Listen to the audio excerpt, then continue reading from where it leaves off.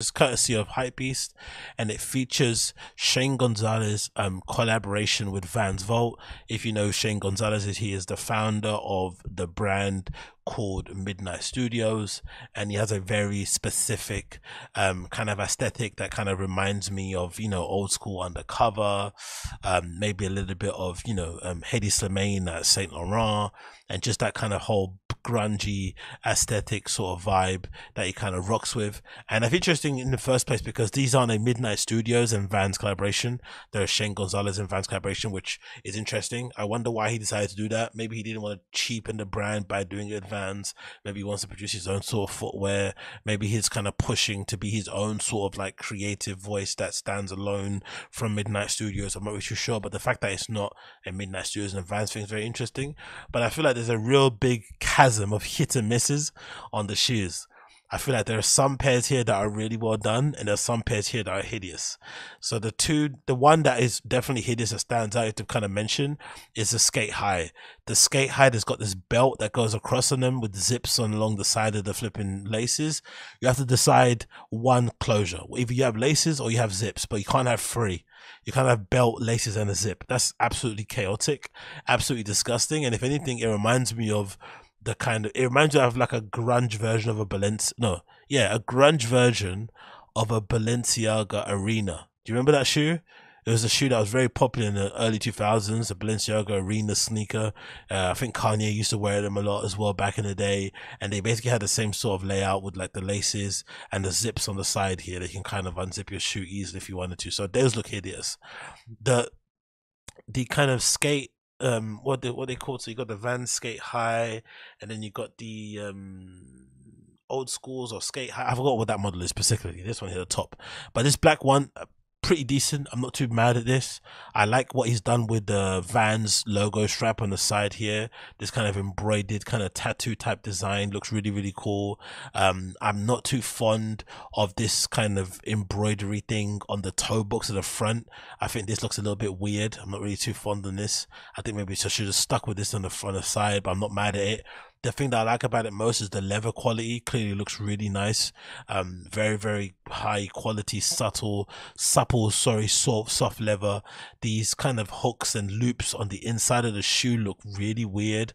I don't know what these are there for, because for the most part, this type of low profile shoe, you don't really need assistance to kind of rip your foot into it, but maybe it's just a nod to something else.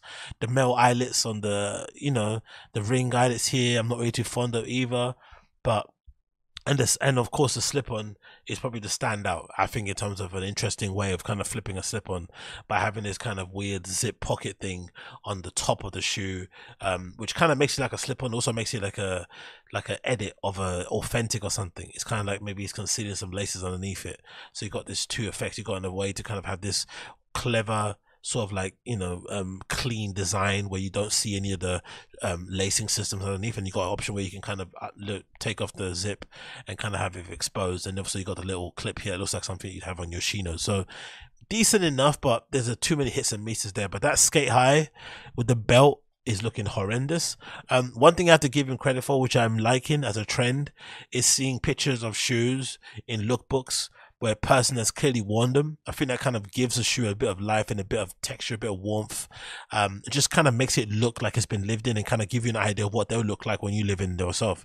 Um, instead of those really sterile product shots of the shoe, fresh out the box, without anybody's foot in it. It kind of looks a certain way. Then you put your foot in it, and it kind of changes the way it looks a little bit in context. So I think you know these work really well not the ones where someone's like sitting in a jumping up with their toes in a pool of water not those corny sneakerhead ones, just a picture of somebody actually wearing them. I think Supreme have been doing quite a bit now with their Vans collaborations where they'll feature pictures of clearly guys in the skate team or people associated with the brand who've worn them a few times, the shoes before they've been released, and then take pictures of them and just put those out as like, you know, hey, this is what I've done. And it gives you a good idea of what the shoes look like on foot and after a few wears. So I do like this. And you see that, of course, so this Vans here. Um, you see again featured on this one also the slip on with somebody sketching and drawing all over them, which I think again is a bit of a nod to Virgil, bringing that back into popularity to RIP him. And of course, no one worn the skate highs. They definitely look brand new. No one's gonna be wearing these even for free. These look absolutely horrendous. like ridiculous. That might be one of the worst pair of Vans I've ever seen in my entire life. That's definitely one of those type of shoes. But yeah, those are pretty nice, whatever these are, and the slip-ons are probably the best ones. But those skate highs are shockingly, shockingly bad. Um, really one of the worst things I've ever ever seen. But again, this goes to show that Shane Gonzalez is definitely growing and getting up there in terms of creativity because these brands, you know, they don't reach out to nobody. So this courtesy of um Hypebeast it says adding to his lengthy um, lineup of collaborations, Shane Gonzalez has now shared his first collaboration with Vans. Um, titled The Star Spangled Glamour, the collection is comprised of three Vault by Vans silhouettes. That's probably why the collection, the quality is really good, by the way, because Vault by Vans is usually the um, the kind of premium end version of their collaborations that they do, um, and the quality of the shoes. That's probably why the leather looks so great from afar as is a suede. So there's three silhouettes are the old school, which I definitely do like the look of VLT LX and the authentic zip. Okay, so it's not a slip on, it's an authentic. That's interesting. I love it's a very clever idea. They've taken an authentic and added a kind of flap over the top with a zip that makes it looks like a slip on. That's a pretty clever little twist. I like that. Um, and then the skate high reissue strap, which is horrible. Um, Gonzalez applied his rock and roll fuse um, spin on the shoes, focusing on the all American motif drawn from the signature aesthetic sensibilities of cowboy boots, denim jeans, and leather jackets.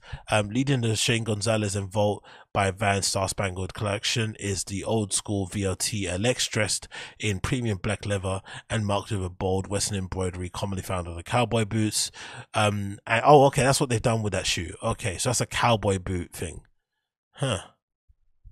Yeah, I don't like that.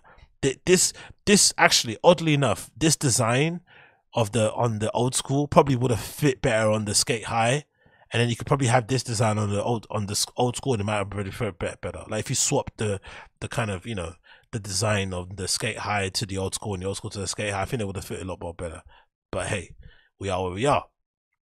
Um, while the authentic zip is designed to replicate the looks of jeans, classic jeans, um, with a familiar indigo thing. Finally, the skate high reissue, also constructed with black and outfitted with a rider jacket. Okay, so it's meant to be like a leather jacket type style. So you got so you, so what have you got here? You've got jeans, you've got cowboy boots, and you've got leather jacket. Okay, so it's basically like a full outfit. Interesting. Interesting. Um, it continues. Price between 130 and 185. The shingles are Vault by Vans collection will be released on April 7th. So yeah, check them out if you're that way inclined. Um, for me, the only big wins are the authentic and the sorry, the old school and the authentic. That skate high can just get thrown in the bin straight away. It looks absolutely horrendous in my opinion. But hey, maybe I'm just hating. Maybe I'm just hating.